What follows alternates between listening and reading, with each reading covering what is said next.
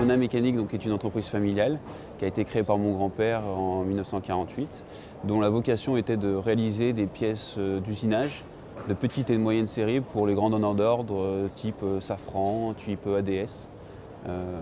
et ça depuis un peu plus de 45 ans. Donc nous, ces dernières années, on s'est spécialisé sur une organisation Lean qui nous a permis justement d'améliorer nos flux, aussi bien nos flux de production, mais nos flux aussi de décision et nos flux d'informations, qui sont des flux qui sont très importants, qui sont souvent négligés, mais qui ont une importance capitale dans euh, l'entreprise. Alors nos clients, nous on travaille directement avec les grands donneurs d'ordre, type euh, donc Safran comme je disais, via par exemple Turbomeca. On a eu travaillé dans le passé par Snecma, Sagem, donc on a travaillé en direct.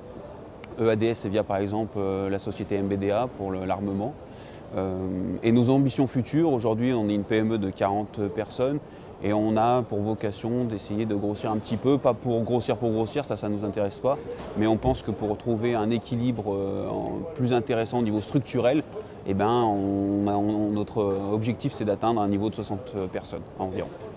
D'ici les 5-10 prochaines années. Nous, on participe pour Bourget pour la deuxième année via le concours de la, CCI du Rhône, euh, qui nous a permis justement d'avoir une approche euh, plus facile, parce que pour nous, petite PME, d'arriver dans un univers aussi gigantesque que celui de l'aéronautique, ce n'était pas toujours évident.